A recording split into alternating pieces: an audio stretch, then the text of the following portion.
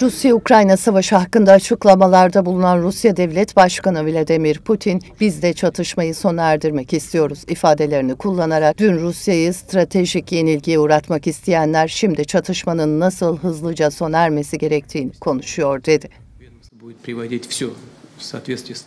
Rusya Devlet Başkanı Vladimir Putin yeni yılın ilk gününde askeri hastaneyi ziyaret ederek Ukrayna'daki savaşta görev alan askerler ve askeri hastane yetkilileriyle bir araya geldi. Putin ziyareti sırasında yaptığı açıklamada Ukrayna'nın düşmanları olmadığını ancak batılı ülkelerin Ukrayna'yı kullandığını söyleyerek Ukrayna bizim düşmanımız değil ancak Rusya'yı stratejik yenilgiye uğratmak isteyen farklı insanlar var. Ancak bize sempatiyle bakan ve manevi olarak yanımızda olan insanlar da var. Çatışma çıkarmak için uzun süre Kiev rejimini beslediler. Maalesef bunu başardılar ve Ukrayna'nın yardımıyla Rusya'ya karşı savaş görevini çözmeye çalışıyorlar dedi.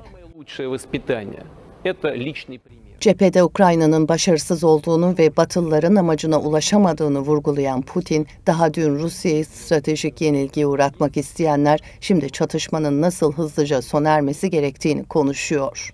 Biz de çatışmayı sona erdirmek istiyoruz hem de mümkün olan en kısa sürede ancak kendi şartlarımızla. Sonsuza dek savaşmak gibi bir arzumuz yok ancak pozisyonumuzdan vazgeçmeyeceğiz dedi. Может быть, так же, как на Дальнем Востоке, тоже повысить